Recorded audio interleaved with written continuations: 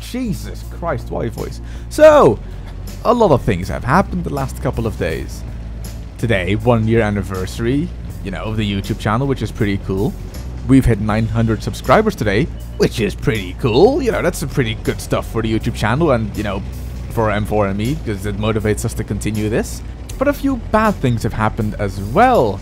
The replays.cookiebaby.com website went down. I don't know the exact reason, but I believe it's because the storage space to save replays on is um, they're out of they're out of space. They're out of space to place replays in. So they took the website down to stop people from trying to upload replays on there. That's one. Cost me to lose a few replays. And the other thing that was kind of bad recently is Wargaming released patch 9.15.2, adding the convoy mode. You know, the game mode with the Lanchester and the Mark 1 tank. It's a fun mode. I have to agree. It's a really fun mode. Problem is, it broke the replays from 9.15.1.1. I can't view them anymore. I'm not sure if you can, but I cannot. And that's a problem, because if I cannot view replays, I cannot record them and make videos on them. This is where you come in! You know, with the uh, one year anniversary and 900 subscribers, I thought it was time. And I've been a bit lazy lately, but you can now send your replays to us on the following email address. Cue music.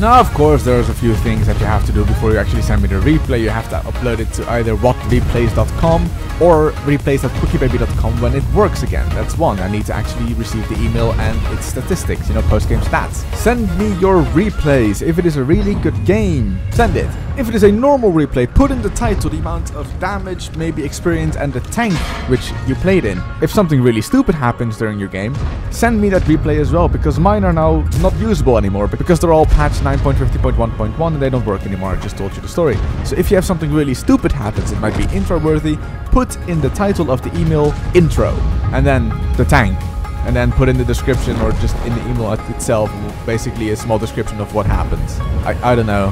Help.